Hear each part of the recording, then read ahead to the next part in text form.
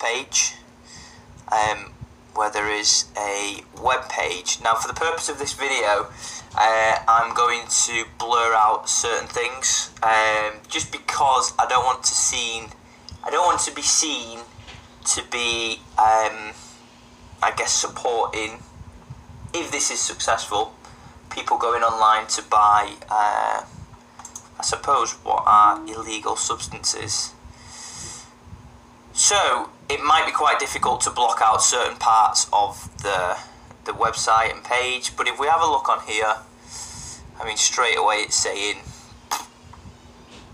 Dianabol test. Um, and then it's got an article here good reasons to take steroids. So the use of steroids has become very common these days. More and more people are taking them in order to achieve their dream body and all that. They are also prescribed by doctors case of delayed puberty. However, one should things should keep in mind that overdosing steroids is not good. And this is just just just bad, really. Uh, bad bad information. Uh, we should be aware of the fact that steroids are taken. They've got some information here, but I don't think they really care about it. Let's see if we can find some um, some steroids here.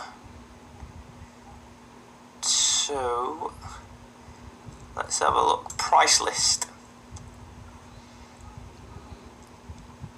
So I mean, look at the state of this. We can get some test, Sustanon, Masteron. I mean, Winstrol, all sorts of stuff. Uh, God, the list is endless. You can buy your syringes on here. Um, and I think on the home page it looked like um, yeah you can pay with Bitcoin which makes it anonymous now I do have Bitcoin actually um, but um, I'm not going to pay with that actually I think what's best for the purpose of this video is that I transfer some money to an account that I'm not really using um, to pay for it rather than just paying from the uh, the offset. So let's have a look. Um, let's say I'm on the internet. I want to go shop. I want to find some. Uh, mild steroids, oral steroids. Okay, here we go.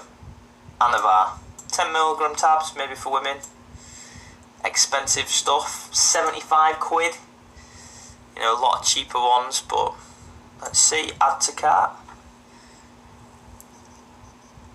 Let's see what happens here. Buy Anavar Cislab steroid next day delivery is claiming. So this should be interesting because it should be quite a quick video uh, in terms of me uh, churning out the content. So it says here it's got a test report that's done. Doesn't really mean much from 2000, September 2017, so a while old.